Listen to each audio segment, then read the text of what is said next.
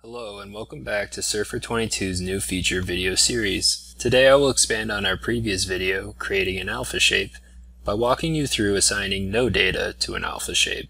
You can follow the link in the video description to see our previous video. An alpha shape allows you to create a tight polygon boundary around a set of data points and can be applied to a surface in several ways. First, an alpha shape can be created directly and used to assign no data in the grid data dialog.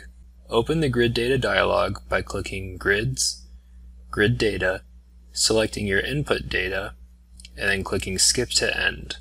Use this option if you are starting out with XYZ data points listed in a text file. You can choose whether to create the shape in the dialog or upload an existing alpha shape. This same process can also be used to create and assign no data directly from the Grid from Contours dialog. Click Grids, Grid from Contours to open the dialog and use the Grid from Contours option if you have contour lines in a vector file format.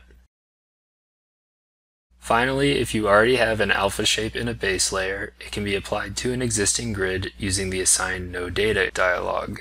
To do this, click Grids, Edit, Assign No Data, select your grid in the Input Grid section, then select your alpha shape contained in an open base vector layer.